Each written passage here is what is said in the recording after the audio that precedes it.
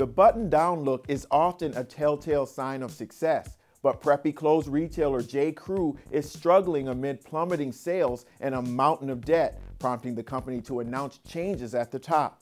On Monday, the privately held company announced that longtime leader Mickey Drexler will step aside, handing CEO duties over to an outsider, West Elm president James Brett, beginning next month.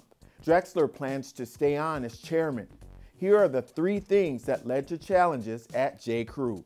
Number one, it has struggled to adapt to the buying habits of younger, more finicky, and price conscious online shoppers. In just a few years, technology has transformed the thinking and expectations of retail customers, with shoppers more focused on lower prices and quantity than perceived quality, as younger consumers seek to build larger wardrobes at lower costs.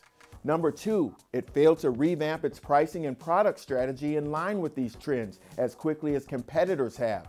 High tech, data driven supply chains have enabled competitors to copy styles faster and move them into stores in just weeks, while J. Crew has focused more on product than speed and pricing. Quote, I've never seen the speed of change as it is today, Drexler said in a WSJ interview. If I could go back 10 years, I might have done some things earlier, unquote. And finally, number three, debt. J. Crew's debt is at around $2 billion with less than $150 million in cash, as sales at stores open at least a year have fallen for 10 straight quarters. So, what are some of the things J. Crew is doing to get back on track?